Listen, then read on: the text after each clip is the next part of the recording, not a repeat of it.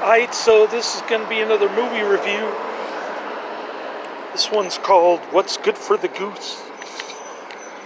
1969. It's going to be a, uh pre-Cannon Jewish producer, Cannon guy. Movie from 1969. He also directed it. I can never remember his name, and I never put his name in the description box. Just like that AIP guy, whose name I don't remember. Samuelson or I don't know. Anyway, it's super loud here with these 18 wheeler trucks. I'm doing this on my phone and I'm watching Netflix in my car. We do it off. we aim to please. We do it all for you to get these Netflix out of the way for the long Sunday with my son, where he sits around and plays video games, watches YouTube, and I sit around and watch Netflix.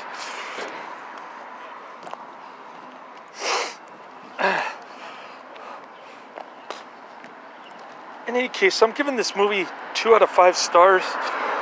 I just liked it. The only good parts really were the uh, psychedelic rock band from 1969 with the long hair and the beards and the groovy clothes. It's about this, uh, it's a lot like Joe, I think, but uh, it has the humor of Carry On series. I mean, I didn't laugh one single time in this one.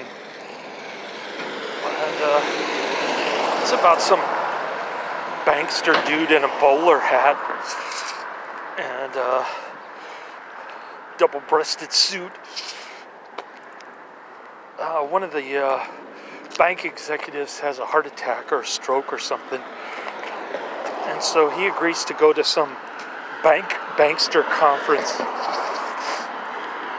Um, he picks up a couple of uh, young Brit hitchhikers. Uh, I, I, I, mentioned the gal from uh, the Oblong Box, my last video, which was pitch dark when I uploaded it on YouTube. Couldn't even see my face. it was like six in the morning. And um,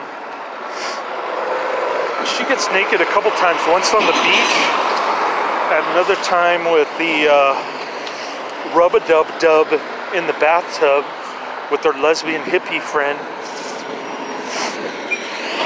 Um, some redhead. You can actually see her pink nipples in the bathtub if you look really closely. Don't take your eyes off.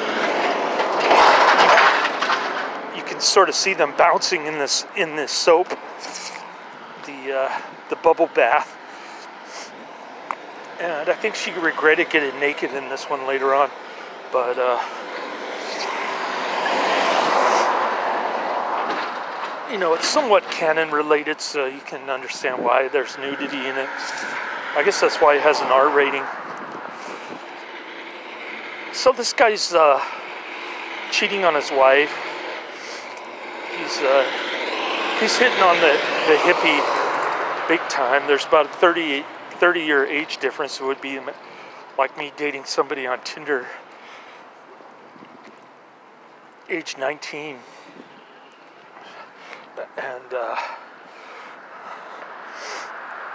and she really falls for him, but then she uh, she goes to bed with another younger guy, and uh, dude goes back to his wife, and that's pretty much the movie. There's no plot really, just a conservative uh, bankster dude going after a young, young and Brit hippie. That's about it.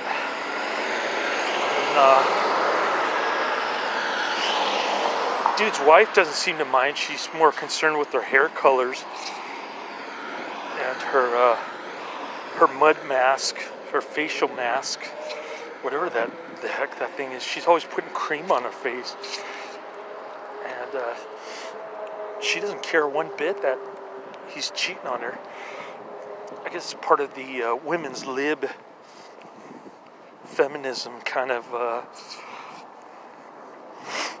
free love 1969 so uh, that's about it. Not a good movie. Uh, i'm gonna watch another uh, movie. I think it's called i love rosa. And uh, try to watch a little bit of that in the uh, good eggs parking lot. Trying to catch up on all this stuff uh,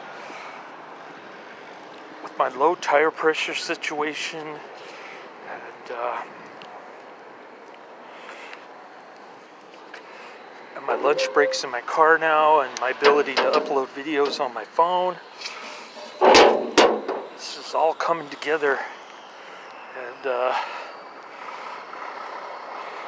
try to uh, upload these videos more frequently for my loving fans there in Australia, all two of them. Later.